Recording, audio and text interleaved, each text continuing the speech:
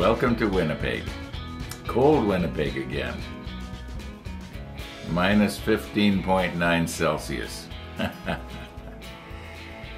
yeah. Okay. We got to do a little bit of painting today.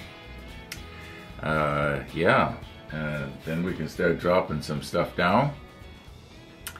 Uh, oh, I uh, I got the clock going. yeah, it turns out that uh, well, my my son came over for coffee, and uh, oh, and, and Corey, if you're listening, he he brought the metal Yamato. You'll you'll see it in the rollback actually. It's a little short rollback. Uh, anyway, uh, yeah, so we're we're sitting there having coffee, and the clock was on the kitchen table, and then that's where we were having our coffee, and and we were making jokes about, well, wouldn't it be funny if it was just a dead battery? So I I got my voltmeter and I checked, and it was uh, seven point something, uh, or rather, it was 0.7 something. In other words, seven tenths of a volt. Well, it should be 15 tenths. anyway, this is the dead battery well, almost dead. So I put in a new battery, and I could hear right away that the that the movement was was was was was running, and uh, so uh, later after my son left, I cleaned up the clock and put it all back together and hung it up on the wall. Um, so the the the time would keep going, but the pendulum, which is an electronic pendulum, has nothing to do with keeping the time. It's just for looks, but it wouldn't stay swinging. And so I ran down to my workshop and I had another movement that was very similar to, to the one that was in there. And uh, I thought I'll, I'll, I'll, swap it out. But when it was hanging on the wall and I was trying to, you know, I'd start the pendulum going and it would, the arc would get less and less and less and finally it would come to a stop. But I thought I could hear a slight rubbing so I thought, I wonder what that is. So when I checked it out, it turns out that something had got bent out of line so that when the movement was was hung up in the clock, it was slightly tilted forward, which which caused the pendulum to, mechanism to not work. It was rubbing. In other words, those of you who are familiar with that, there is, I can show you on this one. See, see, when when it's like this, it'll it'll it'll run pretty good. But if it's tilted forward, if it's tilted forward, it's gonna it's gonna rub, and that's what was happening. So anyway, uh, well, this isn't this isn't clock repair 101, is it? This is uh, the model ship show. Anyway, bottom line is it's it's up and running, and at least it was when I checked it a few minutes ago. Okay, so I can give give my neighbor a call and say, "Come and get her." uh, anyway, uh, my goodness, we're getting really junky on the model table again. Uh, maybe while we're uh, watching the rollback, which isn't that long, uh, I should uh, put some of this stuff where it's supposed to go, or at least where I think it's supposed to go. So let's roll back. Well, our coffee visitor has come and gone, and he brought the package. And we'll just give it a quick check here.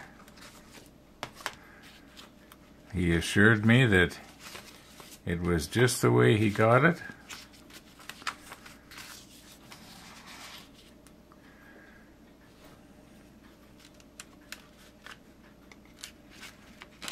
Okay, be very careful here now.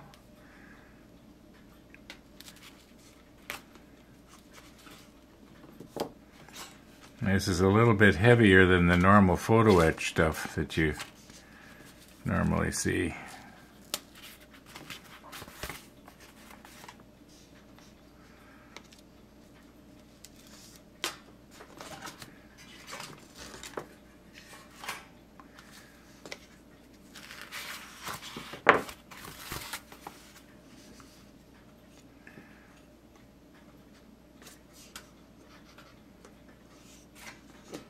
Very carefully here. Don't want to bend anything. It all looks good. It all looks good.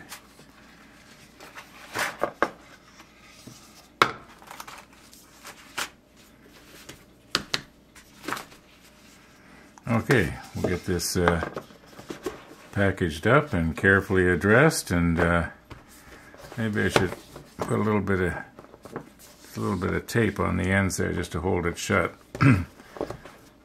yeah, the, the manual seems to want to spring it open just a little bit.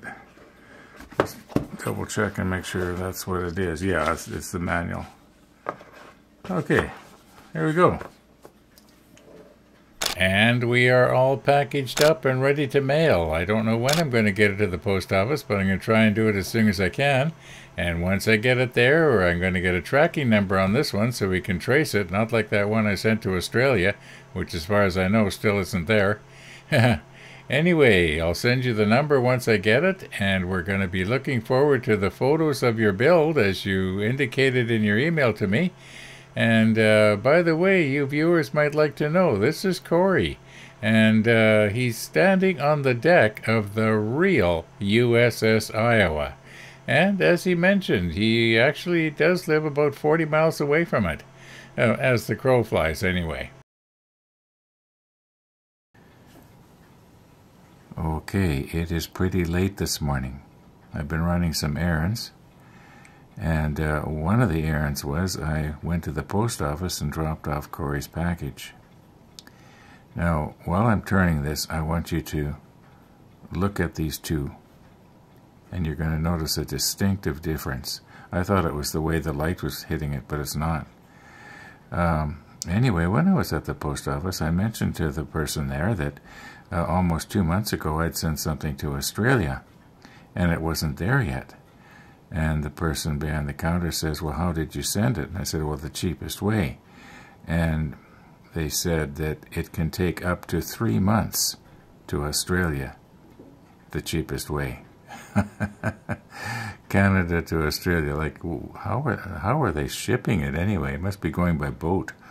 Anyway, uh, it doesn't matter. It's it's on its way. So Dennis, I don't know if you're listening right now, but I was kind of worried that it was lost. But I guess it's just a case of uh, I sent it the wrong way. I should have spent the the extra dollar or whatever and uh, sent it the faster way. Um, okay, notice how these are, are both different. Uh, yeah, and, and yet they are the exact same number off of the sprue or the sheet. They're both number 50s. Yeah, yeah interesting. Now, I've got to get these little guys off of here and uh, get them mounted on something so that they can be painted both front and back. Um, and and these ones here, if you remember, uh, I was I was talking about. Uh, I wanted to see if I could brush them. I think I still will try and brush at least one of them just to see how it would come out, uh, just just for the fun of it. Uh, oh, by the way, uh, Corey's package should be there in about two weeks or less. Okay, if at all possible, I like to mount these on rotating blocks. But this uh, little peg that I'm just trying to grab a hold of right now is so small that I don't know if I can... There we go. Okay, I don't think any uh, Blu Tack stuck on the on the back side of that. Let's just turn it over and have a look. Whoops. It's alright, I know where it went.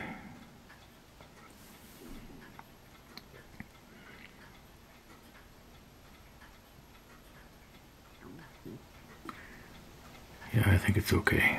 Okay, sitting here at the computer right now, I'd have to say, no, it's not okay. So, uh, yeah, you can see a little uh, residue of Blu Tack on the back of that thing. So I'm going to have to be careful that anywhere that I'm going to be wanting to paint later, I don't want to be sticking that area onto the Blu Tack. I don't know if I can dab that off or not. I think it's probably, uh, I probably end up breaking something. So we'll just have to paint over it and, uh, you know, no one's going to see it anyway, for goodness sakes.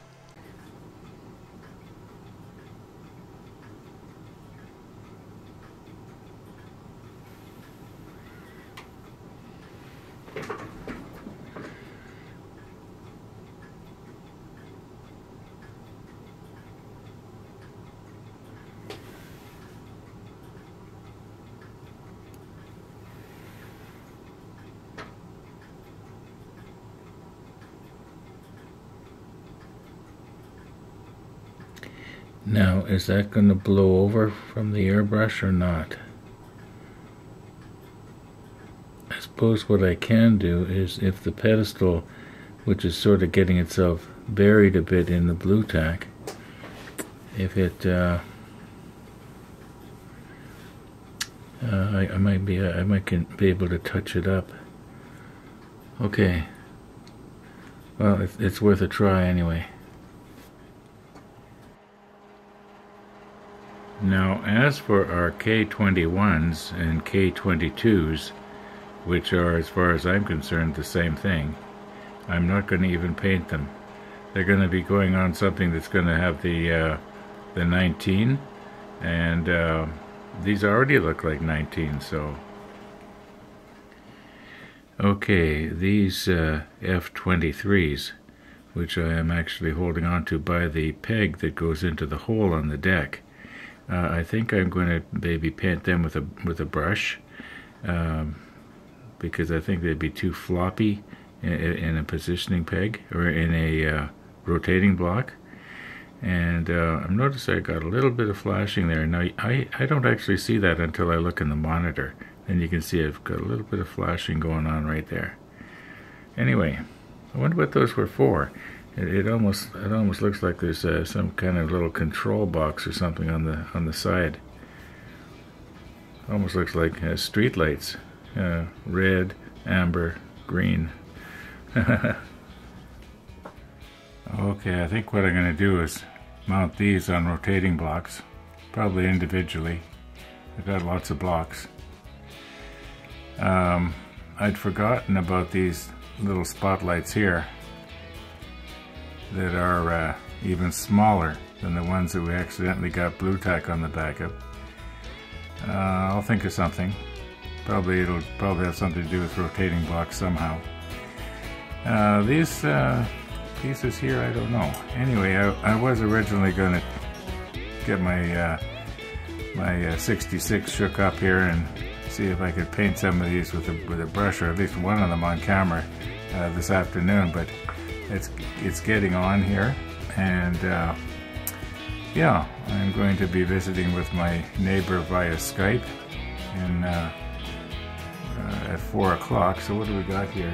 237 so I pretty much got to do the final edit here and um, I'm gonna call it quits for today. I know today's episode's a little shorter but uh, they can't all be long. Actually maybe uh, some people would prefer they weren't long Anyway, thanks for watching, everybody. And all being well, we're going to see you tomorrow.